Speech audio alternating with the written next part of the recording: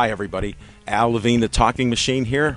Guess what time it is? It's time for the second annual Designer Bag Bingo. Join us Friday, May 6th at the Bethel Park Community Center. Doors open at 6:30 p.m. Tickets are $25 each and are available at the Bethel Park Public Library. and at EV True Value Hardware. Proceeds from the Designer Bag Bingo benefit the Bethel Park Volunteer Scholarship Fund, administered through the Bethel Park Community Foundation. The bags are on display at the Bethel Park Public Library if you'd like to get a peek at them before the event. For more information, call 412 831 3304. Join us May 6th for the second annual Designer Bag Bingo.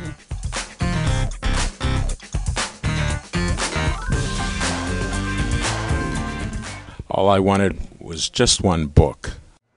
I've shown an interest in making home movies. Me and some buddies would just grab a camera and you just start making these videos, and then you realize at some point that this isn't just a hobby anymore. It's something that you actually want to pursue. And there's this great facility right down the road, BPTV. A lot of people will try to to do these these productions on their own, and one of the things they don't have is the equipment, you know. But right here is everything everything that she needs in one nice little little bundle. There's lights, cameras, reflectors, dollies, all kinds of little knickknacks. Like anything that you'd want to use, that you would need for a production, you have it right here. Like it's all right here. You can make your own feature movie just with the stuff from this studio.